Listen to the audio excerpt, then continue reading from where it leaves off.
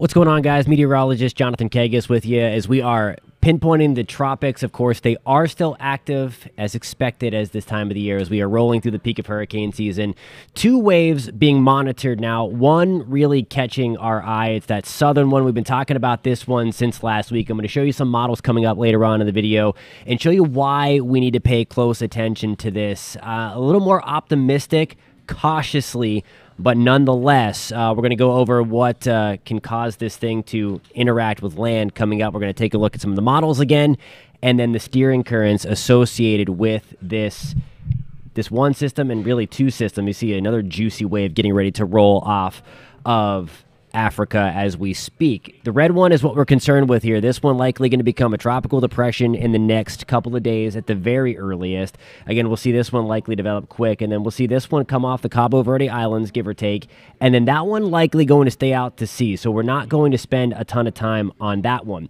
I want to get you to the latest computer models. This is officially designated Invest 95L. Once the Hurricane Center tags it as Invest, an area of investigation, that's when the hurricane models start to be run and we start to get the individual spaghetti plots, as you see right here. Now, this is why there's cautious optimism. And again, if you find this video helpful, please give it a thumbs up. Please hit that subscribe button if you want to stay updated on all things tropics as we venture through the peak of hurricane season. Tightly packed here, although we don't have a well defined center just yet. So these are some of the cautions that we're going to make through the course of this video. Still a long way to watch, and we don't have a well defined system just yet. So if the models don't know where exactly the storm is, it doesn't know where it's going to end up. So just keep that in mind. But the good news is, at least right now, staying north of the Caribbean, northeast of the Caribbean, is the consensus. Now, one of the models that did very, very well with our last hurricane, Idalia, the HWRF, the hurricane model here. That's that pink line at the bottom. It is the southernmost line hurricane model of the bunch. So we're going to watch that closely. I'm going to show you some of the European ensembles in just one second. It's the best thing to look at in this stage of the game. Operational Euro. Everybody loves the Euro. We are going to look at it here. It did very, very well in its defense with forecasting where Idalia was going to go, again, to the panhandle slash Big Bend area of Florida. Here is our disturbance. That's 95L. By this time, by September 6th, we're likely going to be dealing with at least a tropical depression. The Euro still wants to keep it close to the island. So, again, if you're watching from the Caribbean, if you're watching from the southeast U.S., the Bahamas, Turks and Caicos, this is something certainly we need to watch because this is way out in the future. So, this is going to be September 8th and 9th. So, still about five or six days away that we could be dealing with some kind of interaction with the northeast Caribbean islands as we take this further into the future, you see what happens here. Here's September 12th. It feels a little tug. It's going this way, and then all of a sudden it tugs back into the central Atlantic. Going out as far as the model goes here, this is going to be 10 days out, September 14th. There it is, still chilling there. We're going to go over some of the steering mechanisms in just one second, but the fact that it's still hanging out there on September 14th that's one of the reasons why it needs to be watched. It's kind of in no man's land. It can be pushed and bullied in any direction on whatever steering current comes our way. Mind you, the steering current, this little dip in the jet stream right here, isn't even on the United States mainland yet. That is 10 days away, and it's not being sampled adequately by our upper air balloon network. So, just things to keep in mind here as we go deeper into the future. Now, I want to show you the GFS rendition. This one did not do well with Idalia as we move forward here. It's been having issues all season long. It had a better year last year, but nonetheless, there we go with our disturbance. As we take this further into the future, this is September 7th, and it's still having it pretty low. So this is the fresh run here. It has it still at a pretty low uh, launching point. It does take it northeast of the Caribbean islands, but it's a little closer than the European Similar, though, by the time we get to the 12th, with having potentially a very strong hurricane just north of the Turks and Caicos. But this one does have it interacting with the United States. Maybe not in southeast, maybe by the time it gets to the mid Atlantic and into the northeast. So, some things that we have to watch. I want to show you first, before we get into some of the ensembles here, what is actually steering this thing, because I think it'll put into perspective what the ensembles mean here. And I think that's important at this stage in the game. I'll explain what ensembles are in just one second. But nonetheless, big chunk of high pressure. Our Bermuda high is hanging out right here. This is fast forwarding to Saturday. So here we go with our area of low pressure, that little color change there, that little dot in the thing. That is the difference in uh, the sea level pressure there. So as we take this further in time, our area of high pressure kind of just bounces around. Here is our storm. It's becoming well defined. That's why the colors are changing. We're seeing lower heights. That means we have a lower pressure system there. We have a stronger system. What we are going to be watching for towards this period to help steer it out is this dip in the jet stream. And this is the one thing that I caution that we don't know much about it. It is not on the United States landmass yet, so we don't have it sampled by our balloon network. And we don't have a low level sensor yet with our storm, so we don't know what's exactly going on with this storm. We don't know what's actually going to be steering it. We have an idea, of course, but we don't know the sampling until we can actually get our instruments up in these features, which again are seven to 10 days away. So there's a lot of room. It's that butterfly effect, a subtle change somewhere in the Pacific Northwest with this stream, this upper upper level feature here. That changes, that can change the whole thing. So that's why it's important to, even though there's some cautious optimism with the models wanting to curve this, to not completely let your guard down if you're watching from the Northeast Caribbean or the Turks and Caicos or the Bahamas, Florida or the Southeast corner or Northeast United States, really all up and down the eastern seaboard again. It's one of those things to watch because the steering currents are not well defined and they are so far into the future what we'll be interacting with that. So just wanted to show you that. That is what is going to be steering this. I will say here, though, again, on a positive note, this is a look at the European ensembles. Now, we always talk about the ensembles if you frequent this channel.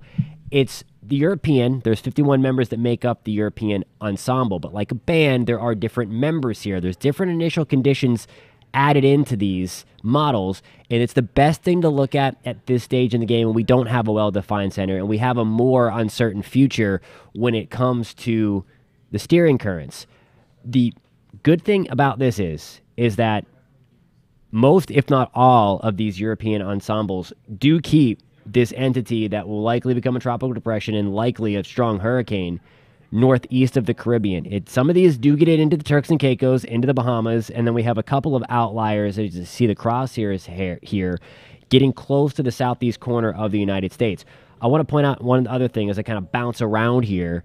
Note the pink lines here. That is a really, really strong storm. So all of the European ensembles, most if not all, get this thing really strong. I mean, over 100 knots. So we have a very powerful hurricane. That's the one thing that this is agreeing on is that we are going to have a very strong storm somewhere likely northeast of the Caribbean and then in no man's land out here. The other thing that most do agree on, though, you see that hard turn. The operational run, that single run that I showed you of the European, did show that how it comes, comes, comes, and then button hooks out. The reason for that is that dip in the jet stream. We can kind of see that right here. And then you can kind of see how we have the weakening of the Bermuda High. So it the storm quickly, once it feels a weakness in that steering ridge, it goes up and out. So we want that trough there to weaken the western side of that ridge. That storm, especially if it is stronger, it is going to feel that weakness and want to be tugged to the north. That is the way out of this storm. Also, you notice those other lines back here. That is likely going to be another at least tropical storm that quickly develops around the Cabo Verde Islands and then goes up and out. So this week we could end up having uh, two named storms uh, in the Atlantic. The leading one is going to be the one of most concern. Although if you're watching maybe from the Azores or even England, uh, the getting into the United Kingdom, this could be an extra tropical thing by the time it gets there. We will keep an eye on that. Mentioned earlier that, of course, we are venture, venturing through peak season. I want to show you the tropical satellite that is positioned over Africa. You see this big flare up of thunderstorms. This is crazy. This is the wave that's likely going to develop around the Cabo Verde Islands and be swung out. That is very, very beefy. But then we have another storm right here, another wave complex of thunderstorms that is going to eject very low off of Africa. And it's these ones that eject super, super low that really have the most concern even early on. It's just because they're further away from the steering mechanisms that have the ability to fling them up and out. So they're already getting kind of a head start. Now, we may get lucky with that first one. Again, I just caution to not write that one off just yet, as we are going to be dealing with. Uh, we're going to be watching that one for the next seven to ten days again, and we are going to have uh, again, those steering currents need to come into play. All right, the peak of hurricane season is September 10th. We're six days away from that. We are nearing that climatological peak. We normally keep activity rolling again. We are in peak season. I know there's one set day that is like the peak, and then we start to come down. We've been in peak season since really the first or second week of August. That's when we typically see that huge ramp up of tropical activity. So you see that rolling through right there we'll see what happens. You saw the waves there. The Atlantic finally flipped its switch, unfortunately. So we are going to watch that, and that's all we can do at this stage in the game. But we are really watching that first big wave that rolled off of Africa the other day. That's likely going to be a, a tropical depression coming up within the next couple of days. Thank you so much for tuning in. If you found this content helpful, please hit that subscribe button.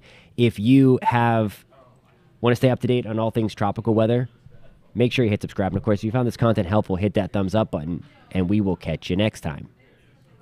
If you are watching live on YouTube, post in the comments. Again, we've been coming at you live on clickorlando.com, the Pinpoint Hurricane app, the Pinpoint Weather app, and of course on News 6 Plus and clickorlando.com. We're everywhere. Again, we're watching it closely it's cautious optimism, and I want to be clear about that. That where it looks like the models are going to bend, we've seen this story before, unfortunately, where it looked like it was going out and then came in because it either slowed down more than anticipated or sped up and just kind of missed its way out. There is a lot of open air out here. What a lot of people don't realize is that in order to be able to get good data into our computer models, we need to have the data in the first place. We do have ships, we do have airplanes out there that we can get good data from, but there is a big ocean out here that is just not sampled. So that is one thing that we caution. And then on the other side, that upper low, that little dip in the jet stream, again, it's way out there, three, four, five thousand miles away, probably even more than that, because it's seven days away. It's not even on the United States mainland, so certainly we're not getting our balloons up into it to really sample that the speed, and like I said before, the it's the butterfly effect. One little change upstream impacts what happens downstream uh, big time. So we have our eyes on it. We are watching it closely. Uh, for Florida's perspective, cautiously optimistic, cautiously, but this one bears watching through at least the weekend and early next week, especially if it does what the Euro wants to do. And again, that is kind of meander around here. We don't want it to stall there and then have a big area of high pressure that would follow that trough that dip in the jet stream and then push it back towards land. So there's a lot of things that can happen when they these storms kind of get no man's land like this. So we are going to be watching that closely.